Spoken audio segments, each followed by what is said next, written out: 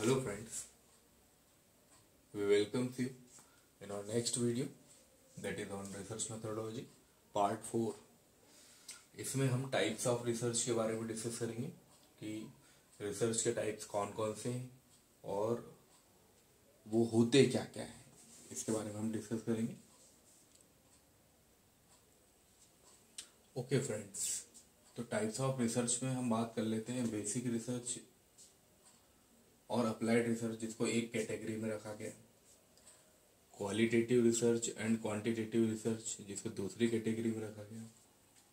Experimental research and non experimental research यानी broadly तीन categories हैं जिनमें टाइप्स को रखा गया है। और भी इनके टाइप्स हैं, इनके अंदर जिसके बारे में हम डिस्कस करेंगे।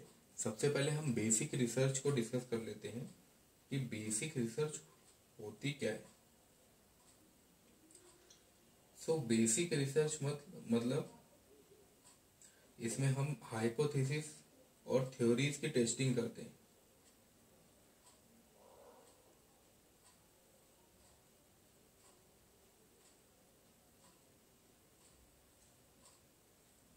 यानी इसमें बेसिक रिसर्च का मतलब है कि हम इसमें हाइपोथेटिकल थॉट लगाते हैं कि भाई कोई चीज़ अगर बनी है तो ऐसी बनी है और अगर हम इसमें कोई मेथड अप्लाई करेंगे तो इसमें क्या मॉडिफिकेशन होगा? मान लीजिए कोई मेडिसिन है, इसको हमने मॉडिफाई करना है तो उस मेडिसिन में कौन सा फंक्शनल ग्रुप है, जिसकी रिएक्टिविटी ज़्यादा है, उस फंक्शनल ग्रुप को रिप्लेस करके कोई दूसरा फंक्शनल ग्रुप उसमें ऐड कर दें, जिससे कि वो ड्रग मॉडिफाई हो जाए। अब मॉडिफाई होने के दो वे हो सकते हैं। या तो वो नेगेटिव वे में मॉडिफाई हो सकती है या फिर पॉजिटिव वे में। नेगेटिव वे में हुई तो वो सोसाइटी के लिए हार्मफुल है। पॉजिटिव वे में हुई तो वो हमारे लिए बेनिफिट है, क्योंकि हम उसको पेटेंट करा सकते हैं। तो ये जो चीज़ है, ये पहले हम दिमाग में सोचेंगे कि हम ऐसा कर सकते हैं। That is the hypothetical thought that can we can say, it is the basic research. Then next one is the applied research तो अप्लाइड रिसर्च क्या होगी? अप्लाइड रिसर्च होगी कि भाई अप्लाइड रिसर्च का मतलब कि हमने, हमको प्रॉब्लम सॉल्व करनी है और उस प्रॉब्लम का रिज़ल्ट हमको इमीडिएटली चाहिए। तो उसके लिए हम कुछ, ये तरीके, कुछ टेक्निक्स यूज़ करेंगे जिसके थ्रू जैसे कि एग्रीकल्चर की फ़ील्ड में हमको या फार्मास्यूटिकल फ़ील्ड में जहाँ पे कि ड्रग्स को मैन्युफैक्चर किया जाता है। वहाँ पे अप्लाइड रिसर्च का एक बहुत इंपॉर्टेंट रोल होता है। यानी आपको इमिडिएटली अप्लाई करना होता है। ग्राउंड लेवल पे एक्सपेरिमेंटल लेवल पे बात होती है यहाँ पे। हाइपोथेटिकल थॉट नहीं चलते। That is the applied research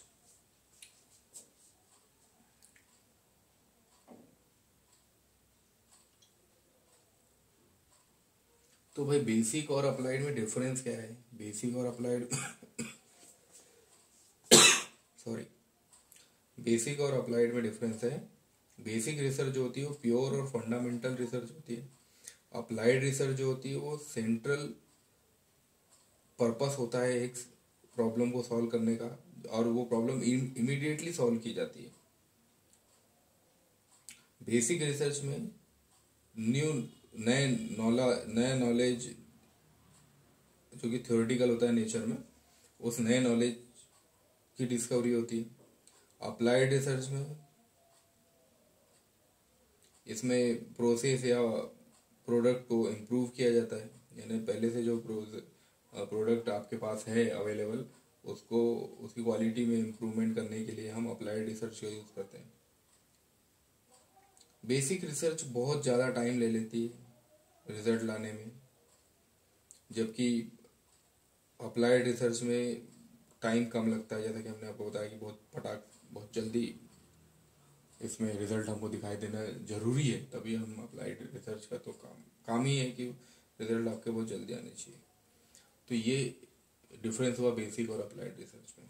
अब अब हम आगे चलते हैं that is the second that is called the objectives of the research next आता है descriptive sorry objective of research जिसमें कि डिस्क्रिप्टिव कोरिलेशन एक्सप्लेनेटरी ये टाइप्स आ जाते हैं। डिस्क्रिप्टिव में आपको रिसर्च में सारा डिस्क्रिप्शन देना होता है कि मेथड आपको डिस्क्राइब करनी है सिस्टमेटिक वे में, या आप कोई कम्युनिटी के बारे लिविंग कम्युनिटी के बारे में बता रहे हैं। तो उसको सिस्टमेटिक वे में आपको बताना होगा। ये डिस्क्रिप्टिव रिसर्च हो जाता है। यानी हम बोल सकते हैं descriptive research refers to the research that provides an accurate characteristic of a particular species or a particular group. That is descriptive. Next one is the correlation correlation में क्या बताएँगे हम?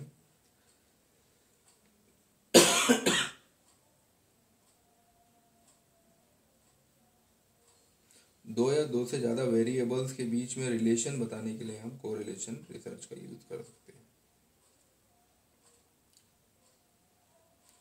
Next one is the explanatory research इसमें आपको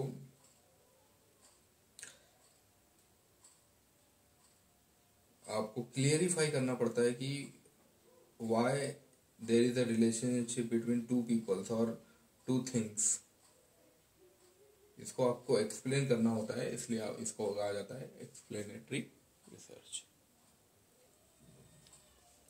next आता है in inquiry mode in inquiry mode में दो चीज़ें आती हैं स्ट्रक्चरल अप्रोच और अनस्ट्रक्चरल स्ट्रक्चरल अप्रोच को हम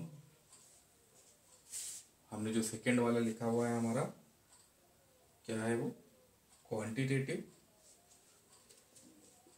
स्ट्रक्चरल अप्रोच को हम बोल सकते हैं क्वांटिटेटिव रिसर्च और अनस्ट्रक्चरल अप्रोच को हम बोल सकते हैं क्वालिटेटिव रिसर्च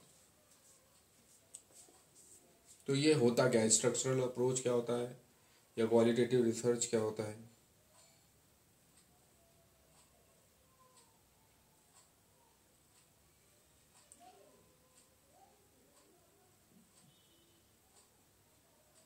स्ट्रक्चरल अप्रोच जो कि क्वांटिटेटिव रिसर्च भी होता है, ये mainly numerical measure measurable data के बारे में हमको बताता है। और ये ट्रेडिशनल अप्रोच है।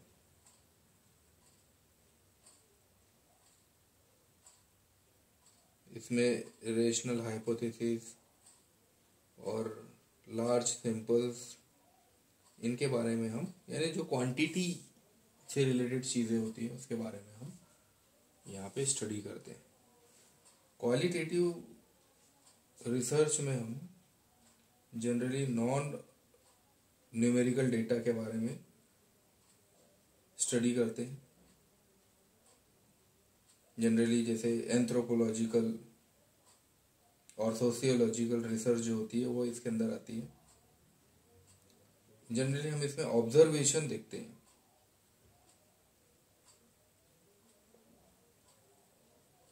या किसी सिचुएशन का डेप्थ डिस्क्रिप्शन हमको देना हो तो हम उसको क्वालिटेटिव रिसर्च में यूज़ करते हैं।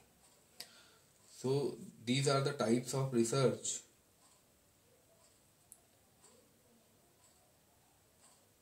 which you can use and I think this video is helpful for you.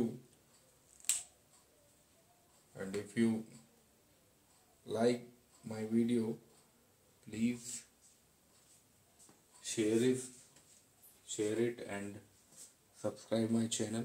Thank you very much